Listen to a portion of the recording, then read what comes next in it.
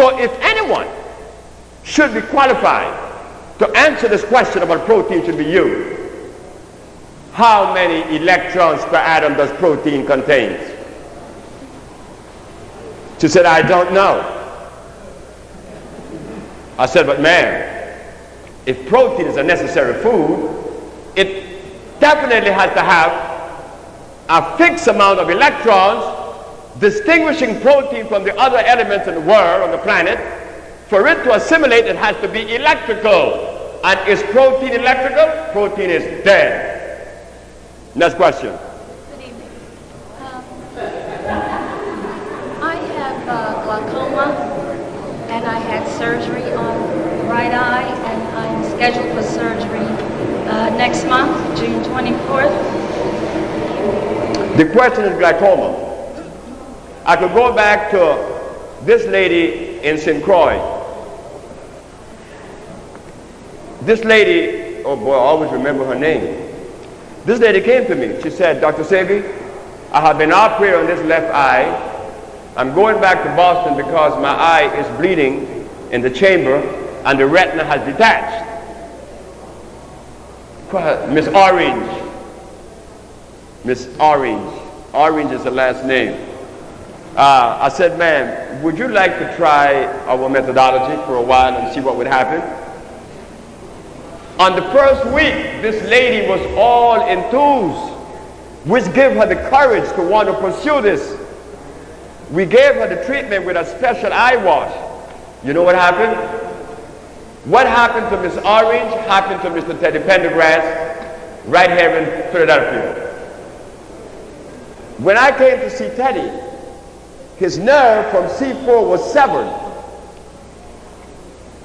You have never heard of cell regeneration, isn't it? Because if a nerve severs, you would never think that it would go back together, right?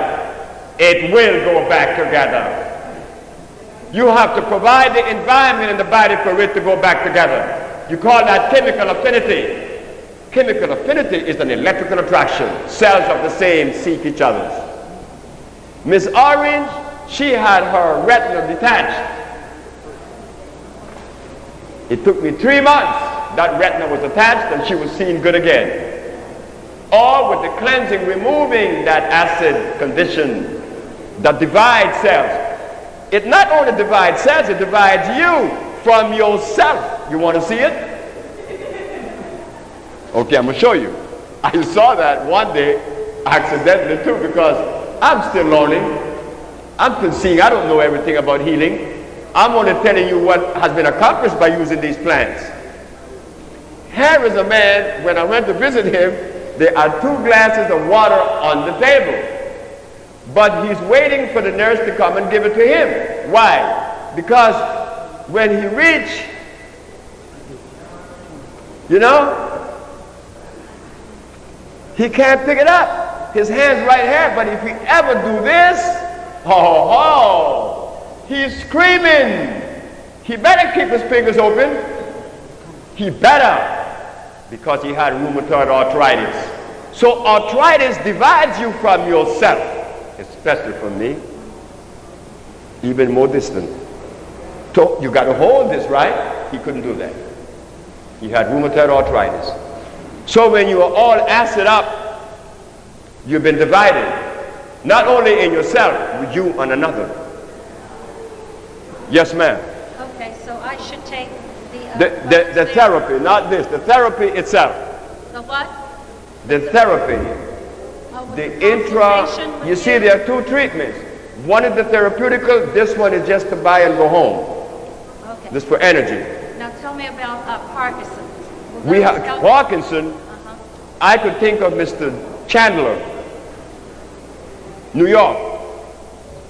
He was my first Parkinson disease case. He played bass. He said, Dr. Sebi, it was about 2 o'clock one evening, he came at the Bretton Hall Hotel on Broadway Street in New York. He said, I'm not sick, it is my wife. I have to bathe my wife. For now, nine years. I bathe her, I feed her, and I have to go play. And you know, as a musician, I'm 56 years of age. I don't make much money. And if this compound of yours is not, is not going to work, I don't have $250 to give you.